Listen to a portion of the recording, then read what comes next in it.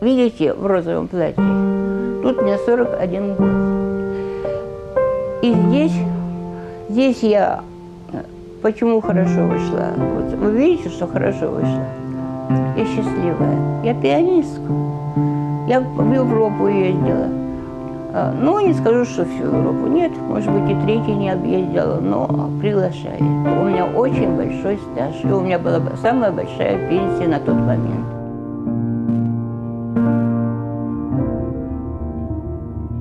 הם עבדו כל חייהם, 30 שנה ברוסיה, 20 שנה בישראל, והיום ההכנסה החודשית הממוצעת שלהם עומדת על כ-3,000 שקלים בלבד. עד לפני חצי שנה, לפחות הפנסיות שקיבלו מרוסיה עזרו להם להחזיק את הראש מעל המים.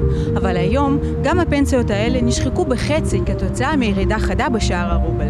הם לא צריכים לקרוא את דוח העוני שהתפרסם לאחרונה, כדי לדעת שהם נמצאים עמוק בתוכו. Я получаю 2 800. А сразу 2 стоя я оставляю для хозяина. Ну, вы сами подумайте.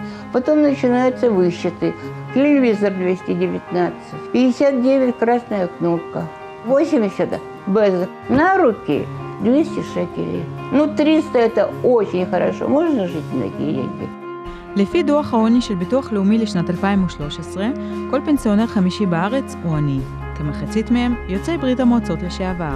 אם אנחנו מדברים על גיל 80 ומעלה, אז הם מקבלים 4,200 שקל לזוג משפחה. אם המשפחה הזאת שוכרת דירה, והם נאלצים לשלם 3,000 שקל מ-4,000 שקל, אז לא קל לתאר את עצמי מה נשאר להם לחיים. האם הפנסיה שהם צברו ברוסיה לא מסייעת להם? מדובר על אנשים שעלו ארצה אחרי 1992. הם מקבלים פנסיה מרוסיה. גודל של הפנסיה בממוצע כ-200 דולר לאיש. ממשלת ישראל לא עשתה ולא עשה עכשיו מספיק לאנשים האלה.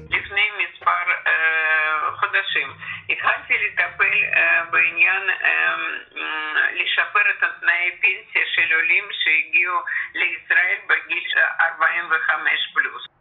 אנחנו אה, צריכים להגדיל קצבת זקנה בבסיס לכל פנסיונרים בישראל. גם עכשיו אה, שיש בעיה בקפיצת הדולר ברוסיה, נכון. ב-40 אחוז הסכום שייכנס אה, לחשבון של אותם אנשים יהיה ב-40 поход мы машинки блоходим. Мы сравниваем. Если при 30 я получала где-то там 1200, то сейчас я рассчитываю на 450.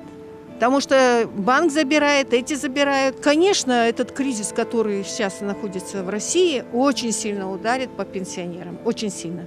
Потому что некоторые получают еще меньше же пенсии, чем я, допустим, да? Э, Получат, значит, еще да, 150-200 шекелей. Это смешно. Я не представляю, как сейчас мы будем жить. Не, я не могу себе представить.